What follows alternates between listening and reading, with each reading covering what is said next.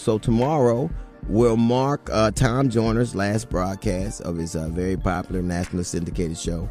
I think that uh, he has a lot to be proud of. He has changed an industry. Uh, I think he's changed a lot of hearts and a lot of minds. I think he put people to school.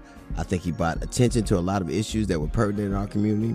I think that there are a lot of people who uh, are in this industry right now who owe their success uh, and their livelihoods directly to Tom. I am one of them.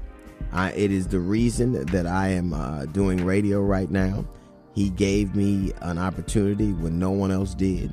I think it says a lot about somebody when their hands are full with success, but they still have enough room to reach out and pull a lot of people up. And you will look across this landscape, radio and otherwise, and you will see his fingerprints on all of it.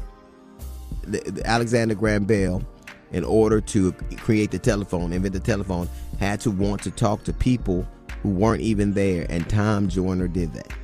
Uh, I found a love in radio that is much like uh, I, have had with, with stand up. It's given me an opportunity to express myself and to go places and see things and say things I never would have before. And I am extremely grateful. I am sad uh, that uh, he is not going to be uh, on, uh, I'm not going to be able to hear him every morning. Well, I live in LA, so I didn't primarily hear him anyway. But it, it's sad that his influence will not be a consistent thing in our lives. Look at all the people who have been touched by him and not in the ways that we're hearing about these days, in these positive ways.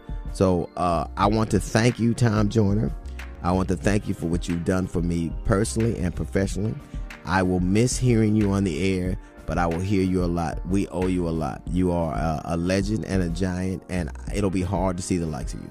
Uh, so uh, thank you, Tom Joyner. Uh, see you on the other side. That was a little note from the GED section on the DL Hughley Show.